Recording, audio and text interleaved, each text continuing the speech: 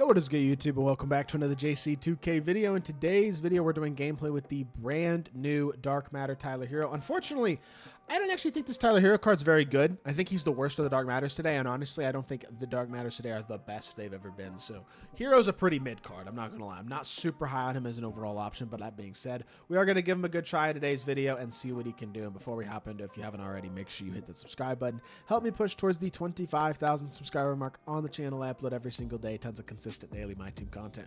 Would really appreciate it if y'all do subscribe. Without further ado, let's hop right into it. Tyler Herro, six foot five, but only a six three wingspan at the shooting guard position. That's pretty small. Uh, or sorry, at the point guard position, I should say, is where he's primary. I mean, he's listed as shooting guard, but he can play point guard. And that's what he's really there for. Um, he comes with uh, 97 driving layup, 98 mid range, 98 three ball, 90 driving dunked, uh, 96 ball handle. Defensively, he's solid. Like his stats and badges are good. Decent speed, good lateral quickness, decent strength, good stamina, uh, 95 vert. Like overall, good looking card. 40 Hoffs include a lot of Hoffs. I mean, and pretty good ones as well. Even interior badges. I mean, like Clamps glove. He doesn't have the interior Hoffs, I should say, but um, like not a bad card. But he does not have a movable enforcer at all. That's not good because you can't add that. He's again short wingspan, smaller player build, not a big six five, and then.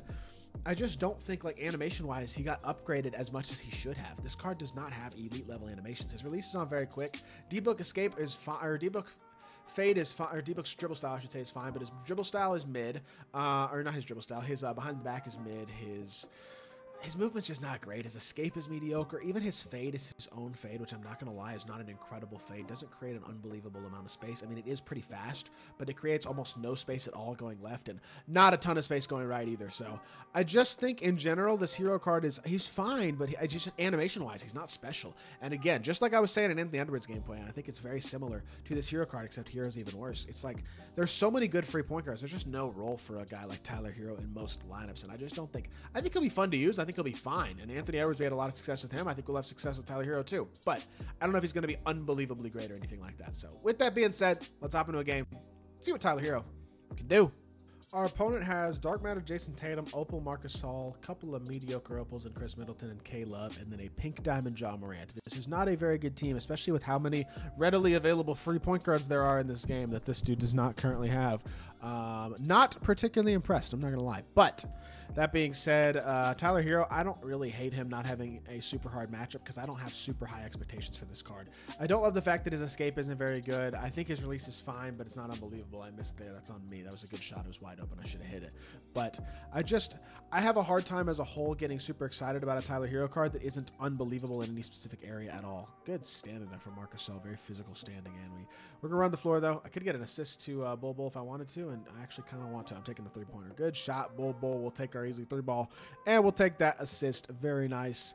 I was I was gonna pass that up, but then I saw he relocated to the three point line. I was like, you know what? That's beautiful. We'll take a free three pointer. Play that. Oh, I tried to get there. That's okay. Good defense. Stay in front of Jayson Tatum. Get through the screen. That's fine. Switch. Help down. Good D. A lot of size here. He doesn't space the floor all that well, and that is easy spacing for a fast break. Run the floor. Tyler Herro. Stop this play behind the. I just think he has no sigs. I mean, D book dribble style's fine. We get to a fade and we hit it. Good shot, but ugh, I'm just not super duper impressed right now, to be honest.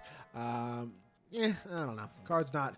He's not exactly hooping. So, um, chill. Get back. Good defense. Wall up. You're fine. Oh, okay. Didn't mean to do that. That's all right. Um, D book. I mean, Taylor Herro has what three points, one assist so far. Not a horrible start.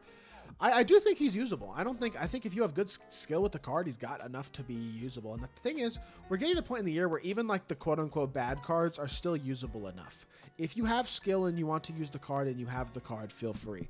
With that being said, the people out there who want to use Tyler Herro, I mean, he's a gambling card just like all these other guys. He may not be as good of a gambling card as some of them, but still, if there are people out there trying to use Tyler Herro, the new Tyler Herro card is not a card they can get without gambling. And that is regardless of whether he is an elite level card or not. And that's a problem. So he's not an elite level gambling card. You know what I mean? Like he's not horrific, but he's just not a best of the best with the new elite level cards, especially at a position that has as much free depth as the point guard position does.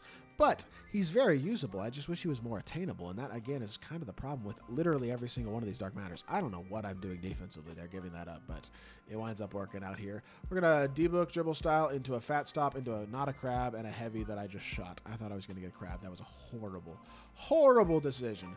Um, step up, play the slip, good defense. Click on contest, very nice, very good. Click on, good defense. Yep, go under, wall up, and that should be a stop. Oh my gosh, that is a stop. Very nice.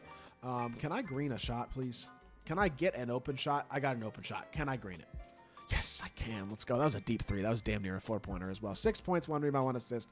That D book dribble style still gives you a great push cross, and that's the one sig that he does have that you can kind of go to. But the thing is, he's had that ever since his amethyst card at the beginning of the year. Like, upgrade the man's sigs, please. Especially a six-five smaller PG who's not an unbelievably elite defender. We gotta upgrade his animations more than 2K did this time, and that is not something that I'm a big fan of. And that's really my complaint with the guy like Tyler Herro, and it's my complaint with Anthony Edwards as well. Is I just think 2K could have done a much better job with these cards and made them a lot better than they actually are without. I mean, they still wouldn't be the best point guards in the game even if they had near perfect six, but I think they definitely be a lot better than they are right now. And that, unfortunately, I mean, it is what it is, but it, it is kind of annoying. Catch, shoot, wide open three, Tyler Herro. Nice release, nice shot.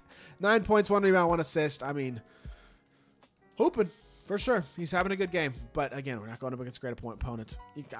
All these cards can hoop against mediocre opponents. You know what I mean? All these cards are good enough at this point to be able to do that. He backdoors me there, gets a dunk, but we're up six with a minute 46 left. Should be able to close this out. I'll take another. You know what? I'll pass up the assist. I'll reset it and try to get another three ball or something. Um, reject the screen. Face his fate is literally creates zero separation. Like it's basically negative separation is how much is what I would consider his fade. Um, behind, let's go pick and pop here. Just run around in a circle, hit it to Herro, Herro here, spin, go inside, lay it up and off. Okay.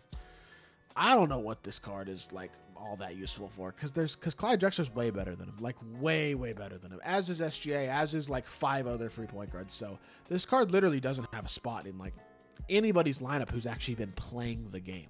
Um, yeah, I don't know. Not not super high on this Herro card. Kind of disappointed by him to be honest.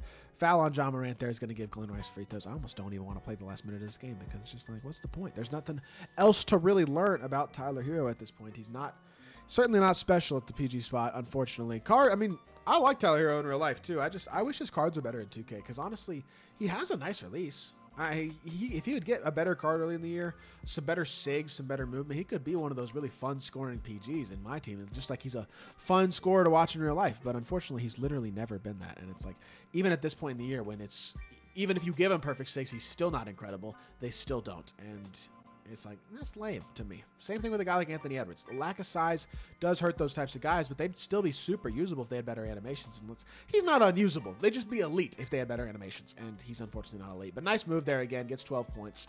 Gets to his 12th point of the game, I should say. Uh, wall that up. That's a block or a stop. That works. Giannis 100 overall is just doing it on defense, man. And I got plucked. Good D. Good D, man. I respect it. I respect it. That is a respectable defensive play and he gets a wide open mid range off of it, but misses. 17 seconds left.